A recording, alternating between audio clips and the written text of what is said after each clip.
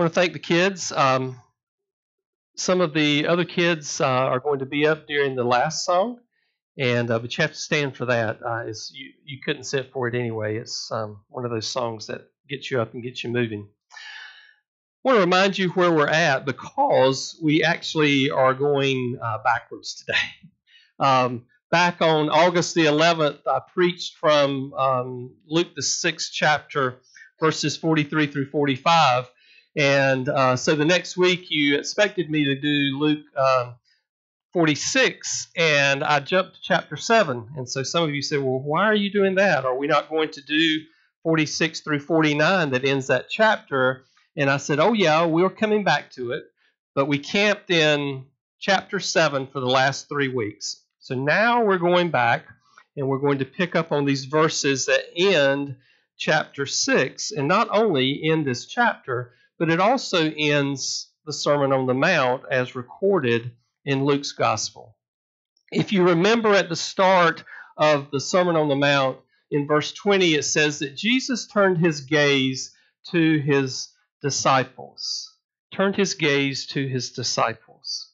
And so now we come to the end of this particular sermon that Jesus is giving on the plain there on the side of the mountain outside of Capernaum. And so this morning I'll be looking at verses 46 through 49.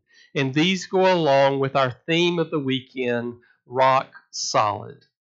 So if you have your Bibles and want to follow along, Luke 6, beginning with verse 46. Why do you call me Lord, Lord, and do not do what I say? Everyone who comes to me and hears my words and acts on them, I will show you whom he is like. He is like a man building a house who dug deep and laid a foundation on the rock. And when the floods occurred and the torrents burst against that house and could not shake it because it had been built, well built. But the one who has heard and has not acted accordingly is like a man who built a house on the ground without any foundation. And the torrents burst against it, and immediately it collapsed. And the ruin of that house was great. This is the word of God for the people of God. Thanks be to God. Let's pray. Father, may the words of my mouth and the meditation of all of our hearts be acceptable and pleasing in your sight. For you are our strength and our Redeemer. Illuminate our hearts this morning, Father, for what you would have for us as this passage unfolds. We pray this in your name. Amen. Hurricane Ike rolled through Galveston, Texas in September of 2008 and it was considered at that time one of the costliest, uh, it's actually the third costliest hurricane um, in all of the United States history. And at that time, it was the most costly hurricane ever to roll through Texas. And so, following the days, just like we have seen with um, uh, Dorian, who's come through our state over these this past week, you see all of these photos of the aftermath that has happened, where tornadoes have gone through, or Ocracoke and Hatteras, where a number of families have lost homes. Well, those pictures are very common, and it happened during Hurricane Ike. On the peninsula in Galveston, Texas, there were some 200 homes but ironically, after Hurricane Ike went through, there was one home that got attention. It was photographed more than any other home, shown on more TV screens than any other house of the time. In fact, it was the only house that was standing, and such that people believed that it was photoshopped in to the landscape until CNN, Fox News, and a particular wildlife um, ranger actually verified the houses there. I want you to see a picture of this. This is the peninsula in Galveston. The end of the peninsula is in the, the, the far scenes there. This is the house. This is really a house on this peninsula. The other next picture is a little closer up, and you can see the devastation. Some 200 homes were on this peninsula around this house. The next one will show the backside. Now, it looks like a bigger house, but this, the picture actually is stretched out here. Uh, I could have narrowed it down, but it so it looks like the back of the house. But this is from the other direction. So you see, going the other direction from the house, there are no standing houses. Interesting. Aaron Reed, a spokesperson for the Texas Park and Wildlife Commission, confirmed that this house, the Adams house, Warren and Pam Adams were the owners of this house, and theirs was the only one left standing on the Gulf Beach side there in Galveston.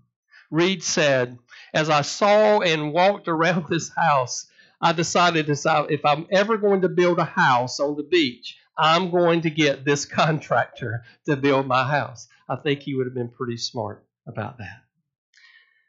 Jesus, in this Sermon on the Mount, as he's finishing up, gives illustrations for us of good and bad builders, or in other words, obedient or disobedient disciples.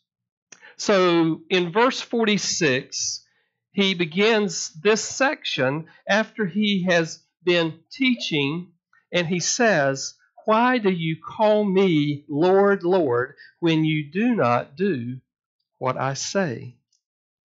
Now we know that he's attracted a lot of followers. We know that the uh, from uh, the accounts, there are great numbers of people. Even Luke tells us that people from uh, Judea, from Jerusalem, from Tyre and Sidon, the coastal communities there, had gathered around. Doesn't give us a number, but we know there's hundreds, if not thousands, that had followed him at this point that would be listening to Jesus, and even some calling him Lord.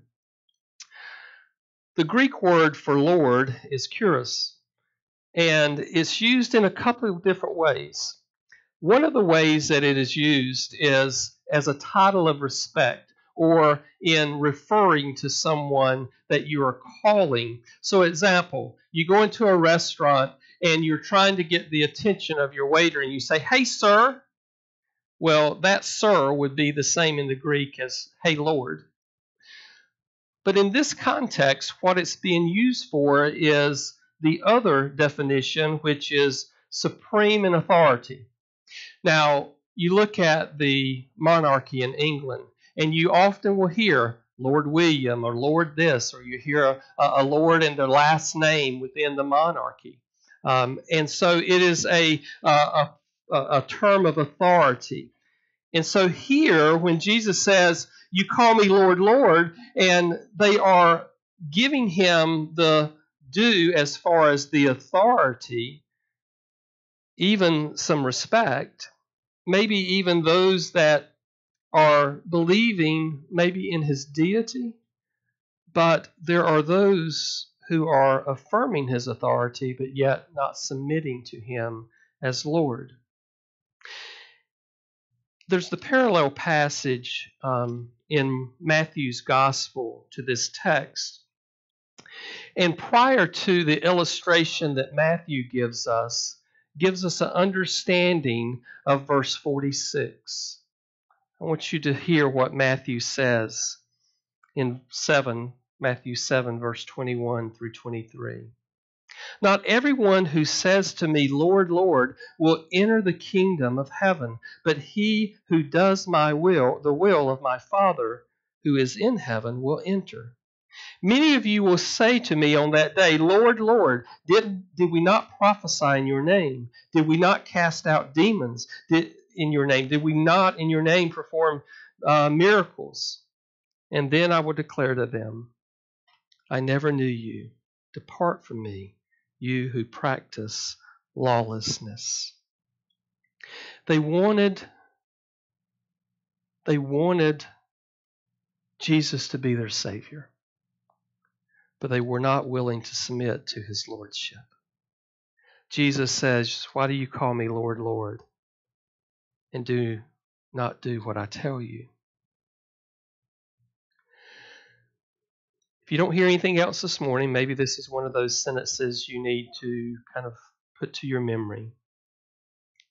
Submission to the Lord Jesus Christ, or let me put it this way submission to Jesus Christ as Lord is a non negotiable element of true salvation.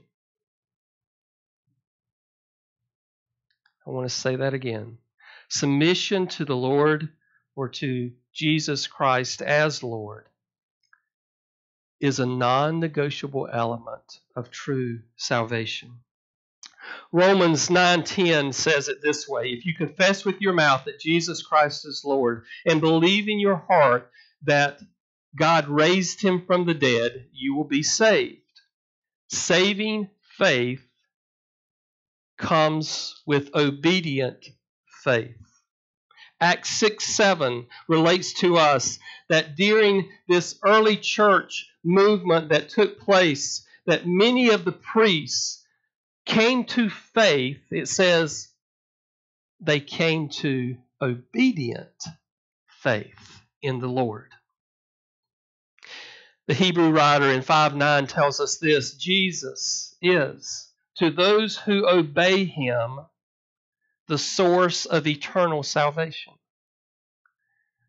When you come to faith in Jesus Christ, there is a submission to the Lordship that takes place. Jesus says, Those who hear my word and obey it. So in the next verse, he says, Everyone who comes to me and hears my word and acts on it, I will show you whom he or she is like. And he gives us two illustrations here. He gives us an illustration of the good builder and a bad builder, or that that is an obedient disciple to Jesus Christ, one who submits to Christ, or one who is disobedient and does not. It's helpful here, I think, for us to remember that Jesus was a carpenter. His dad was a carpenter. And so Jesus had spent his life uh, up until he went into the ministry at 30 uh, with his dad. He would know what it means to build. In fact, we often think of a carpenter as one who only deals with wood. In this time, a carpenter not only dealt with wood, but they dealt with stone. And so here you have someone that would be, as today, like our general contractor, able to do it all. If you called Jesus prior to his ministry as a carpenter to come to your house, he could have done it all. And so he's giving this illustration, undoubtedly, coming from some personal experience that he had. He could tell us what a firm foundation is. And so he begins in 48. The good builder is like a man building a house who dug deep and laid a foundation. And I love this term on the rock. On the rock. Here is a man Jesus says, that wants to go the extra mile, is willing to take the extra time, is willing to dig deep to find the rock to place his foundation on. Whatever it took, he was willing to do that. The extra effort to make sure the foundation was firm and on the rock. The Adams house in Galveston, Texas, along the shore, had been built firm on the rock. It withstood the winds of time that day as Hurricane Ike came through. And when we build our house on the rock, when we go beyond the surface and build our house, then when the floods rise and the storms come, when the waves beat against us in life, we will not be shaken as we sung a little bit earlier. Our house, our spiritual house, will stand firm. It's well built, Jesus says, and it cannot be shaken. And then Jesus describes the other builder, this person who he terms has been in disobedient, has not heard the word, has not acted on this word. And he says, This man built his house on the ground without any foundation. Now, if you have ever built anything on the ground without a foundation and a storm has arose and it was not anchored down in any way, what happens to it? It blows away or falls down or it crashes. And so this man was not willing to take the time. This man was not willing to take the effort or to invest in the cost that it took to have a firm foundation. And what happens is that the house falls to the ground. In fact, Jesus says that the house is in ruins, in great ruins. Now, 200 houses was around the Adams house there, and evidently at least some of their foundations certainly were not on the rock, because as you looked at those pictures, there was not another single house that had stood tall in the winds of Hurricane Ike. Here's the thing you can have a house built on the ground with no foundation. You can have a house built on the rock, a firm foundation. And you can look at those two houses, and from the outside, those houses look just alike. They're very similar. In fact, they could be built so that they do look alike. The siding's alike, the windows are alike, the doors are alike, the colors alike, the roof is alike. They look just the same from the outside. But you can't see under the ground. You can't see that foundation, what it's built on. And then when the winds come, that outward appearance is no longer significant. It doesn't matter what the color is, it doesn't matter what it looks like or the similarities. When the storms break against it, what will happen? In fair weather, they're good to go. But in stormy weather, one of the houses will not fare well if it's not on a firm foundation. Jesus says this house will fall immediately. This house will fail. Of course, he's talking about our spiritual life. He's given an illustration about how we come to faith and how we build our faith on the rock, which is Jesus Christ. He is the cornerstone of our faith. He is the one that we build on. He is the solid rock. He is the bedstone. So Jesus gives these two illustrations to show whether we see ourselves as obedient or do we see ourselves as disobedient? How will we stand against the times how will we stand when the storms come in life? And they will come. The question is, where have we put our foundation? If we are obedient to the Lord and we make him our cornerstone, then this verse that says that they will do, there will be some type of action, obedience in our life to the Lord. You say, well, that sounds like works righteousness to me. Well, let me clarify it is not works righteousness. You can go to Paul's letter to uh, to Rome, the verses or chapters three through six, and see that uh, faith is in Christ alone, uh, not by works. You will see righteousness is imputed as a gift. You will see that you cannot earn it. You cannot be good enough to earn salvation. You only receive it. Romans 3:22 says the righteousness of God is manifested through faith in Jesus Christ for all those who believe. And then you jump to verse 24 and he says being justified is a gift by grace through the redemption which only comes through who? Jesus Christ. James tells us, even so, faith, if it has no works, is dead. James 2:17. And so you see, we come to faith in Jesus Christ. Our salvation is secure in Him. But Jesus says, if you're going to call me Lord and you're going to live into the Lordship that I have over you, if you're going to be a disciple of mine, there's going to be some action in your life. Because if there's no action, then your faith is dead. Faith without works is dead. So Jesus in verse 47 says, Everyone who comes and hears my word does them. And he gives these illustrations. In other words, there is action.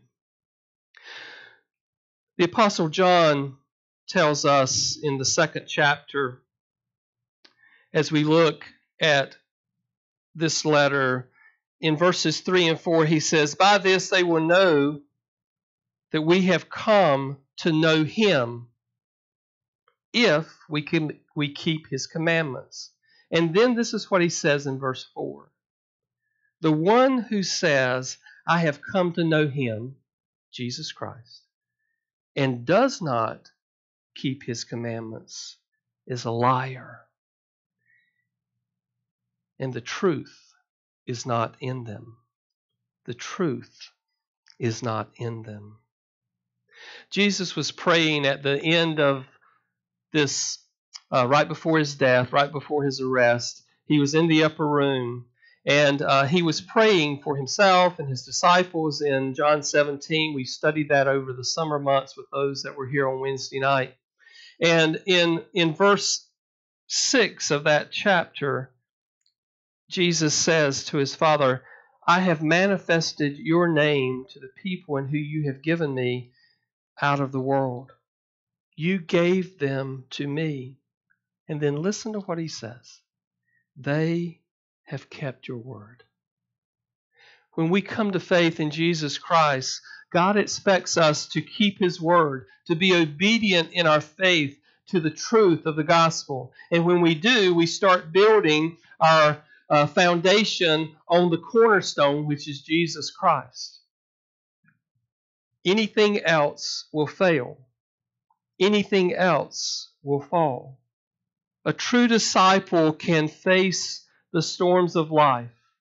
When sickness comes, when suffering comes, when disappointment comes, when accidents come, when you are mistreated in some way, even when sin comes a true disciple of Jesus Christ who has built their foundation on him as his as him as cornerstone can stand firm and will not be shaken. Didn't say you would like what you're facing, but I'm saying that your faith will not be shaken. Pastor Scott Willis and his wife Janet um, they lived outside of Chicago, Illinois, and they were going to uh, go to uh, Milwaukee, Wisconsin. And they buckled six of their nine kids in their minivan this day, and they had no idea what that day, the horror of that day as it would unfold. They were on I 94 going into Milwaukee, and they ran over a piece of metal with their minivan. That metal kicked up and it punctured the gas tank and it started a fire. Their van became engulfed in flames. By the time that it came to a halt, Scott and Janet jumped out of their doors, but they could not reach their six kids. And all six kids perished in the van. Now, you would think, and rightfully so, uh, your mind would go is, oh, if that was me, I'd wonder where God was in all of this. You know, six of the nine children had perished. And so, as Janet saw the van engulfed in flames, she began to holler, No, no, no. I probably would have done the same. But as they later were in a news conference outside of the hospital, This is what Janet said. She said, As I stood there screaming, looking at the van engulfed in flames, Scott tapped me on the shoulder. And he said, Honey, this is what we have been preparing for.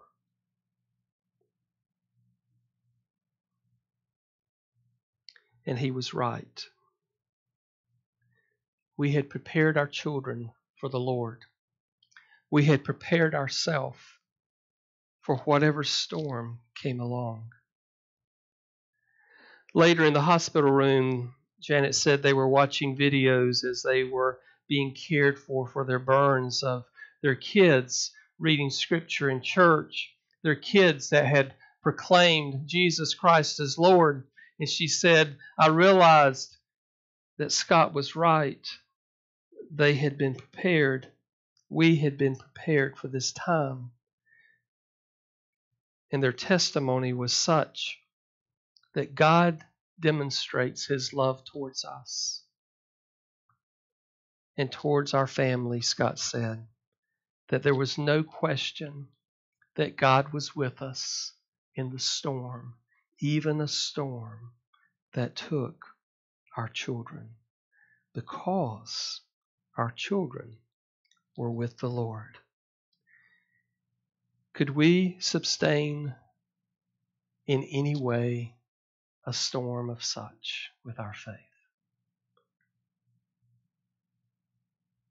A disciple of Jesus Christ obeys him, makes him the foundation on which we build our faith, on which we build our trust. On him we trust that in all things, at all times, he is going to be with us.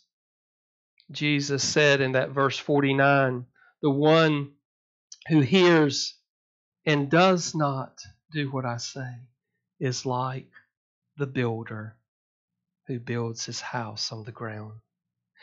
The false disciple is one that does not take action. The false disciple is one that does not build on the Word of God. The false disciple is one who listens to all that pervades in a secular society. The false disciple is one that says, I belong to Jesus, looks the same on the outside, but when you start looking on the inside, there is no foundation, there is no hold, there is nothing attached to Jesus Christ. The claims of being Christian or having Christianity of faith is not there because when the storms come, they do not obey.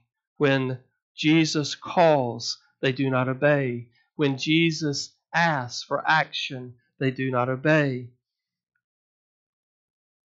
And then that verse from John whoever says that they know Jesus but does not keep, his commandments is a liar, and the truth is not in them.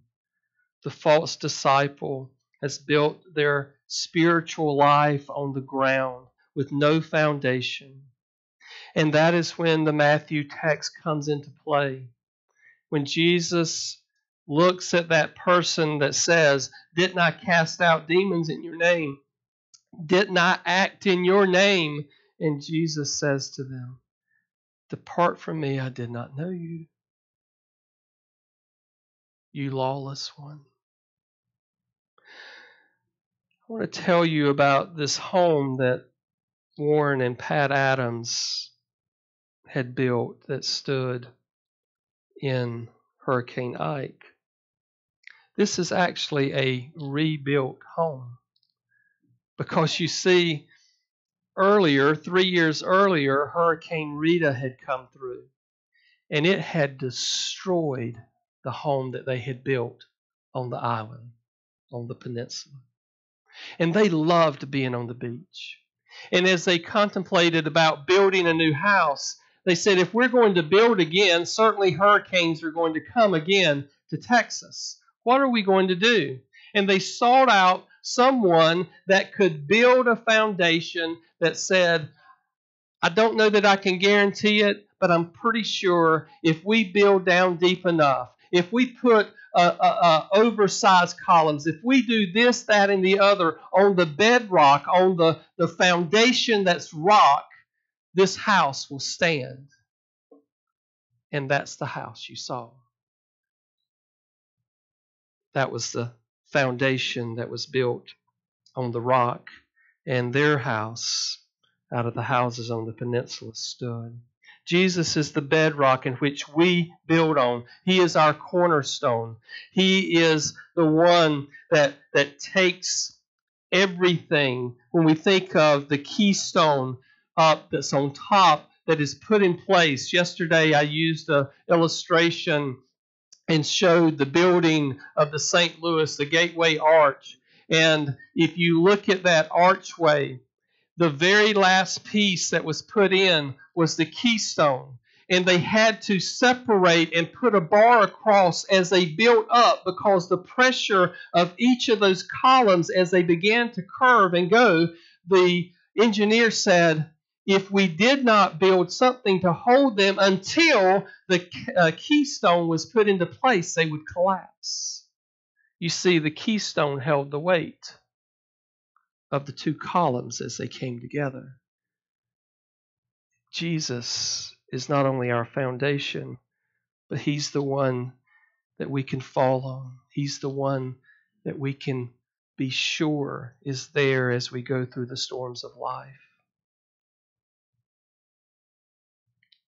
He gives us strength in the times that we need it most. So, how do we build this foundation on Jesus Christ? How do we get strength as a, a capstone in Jesus Christ?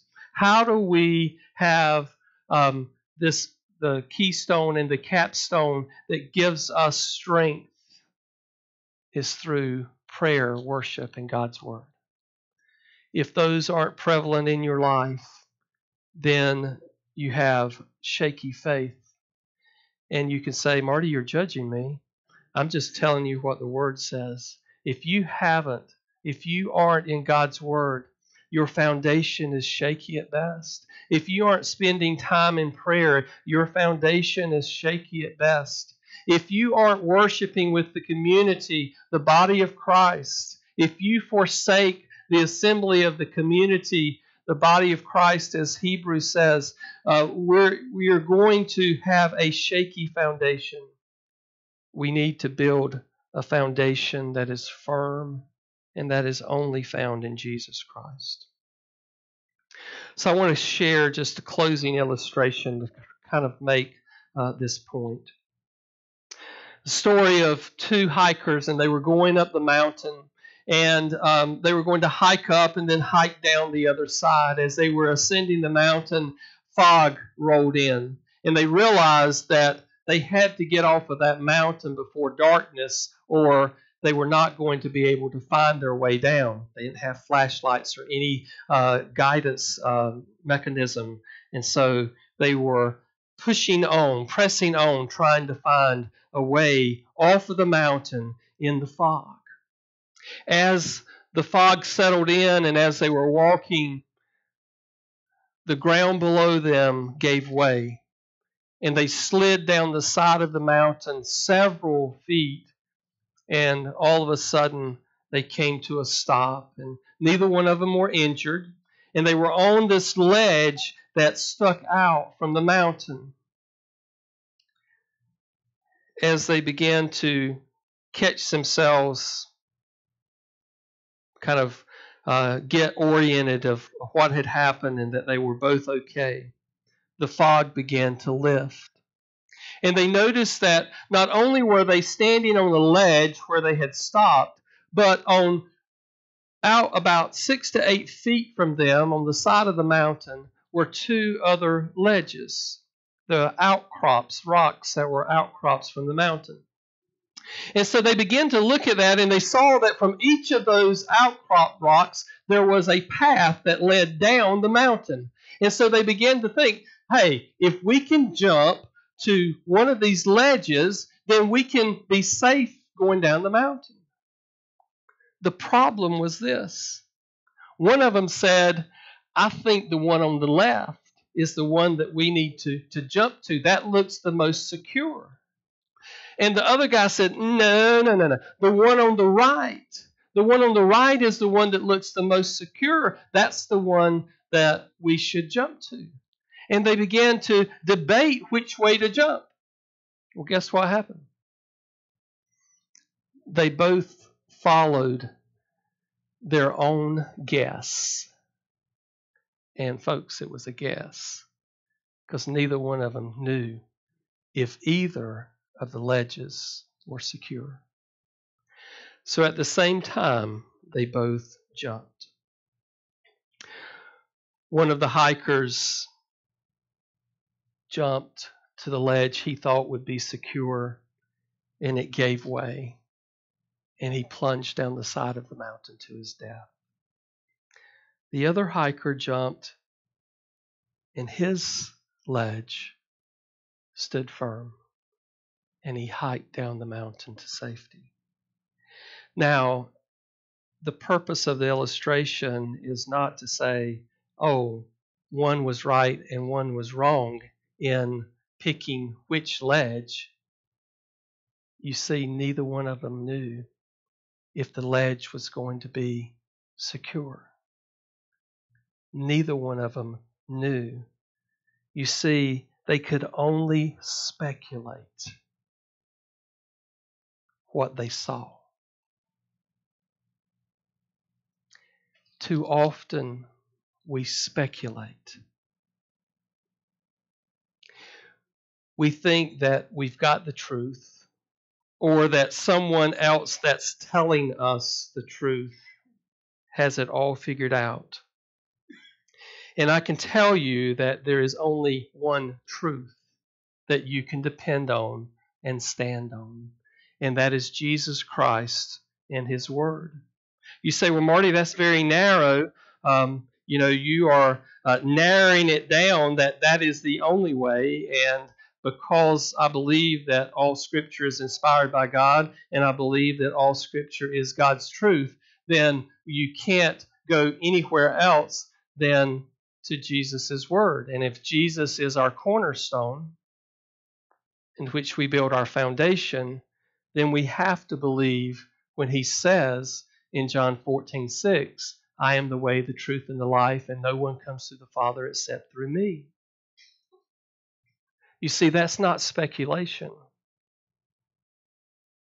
That's just specific truth. These hikers speculated if you start speculating on what is going to be good for you when it comes to your spiritual life, you're going to find that when the storms come, it's going to be difficult to stand because the foundation is only found in Jesus Christ. The other verse that's up there is from 1 Corinthians, the third chapter. And in this chapter, Paul is talking about to the church of Corinth foundations for living. You ought to read chapter 3 today to get a sense of that. But verse 11 is very interesting. Verse 11 says, For no man can lay a foundation other than the one which has been laid, which is Jesus Christ. You see, there's not another foundation to stand on when it comes to our spiritual life. Not only did Jesus say that he was the way, Paul, in his teaching to the church, the scripture that has been given to us is that Jesus is the way, he is the foundation that we place not only our faith and trust on, but we build our life on. You see, the choice is clear those who follow the blueprint of false teachers foolishly build their house with no foundation. They try to build it with human achievement, with their own skills, with their own logic, and ultimately the house will be, their spiritual house will be swept away and will have divine judgment. But those who build their house on the foundation of the Lord Jesus Christ, the solid rock, their house will stand. Their spiritual walk will be secure. We sang just a few minutes ago, My hope is built on nothing less than Jesus' blood and righteousness. On Christ the solid I stand. So the question I want to leave you with this morning is this On what foundation have you built your spiritual house? Let's pray.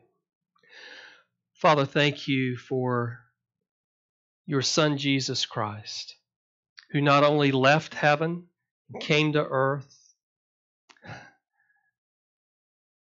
deity and humanness in one, who lived, died, and was raised.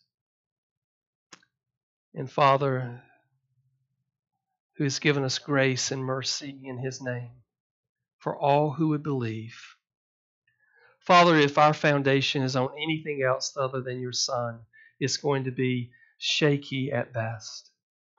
Father, we pray this morning that is, if there's anyone in this room that has put their faith in anything else other than your Son, has built their spiritual house on anything else than the foundation of Jesus Christ, we pray this morning, Father, that we would acknowledge you as Lord. Why do you call me Lord, Lord? But don't do what I say, Jesus says, as he closes out this sermon. Father, may our house be built on the solid rock and then be rock solid in all things. May it be so, Father. We pray this in your name. Amen.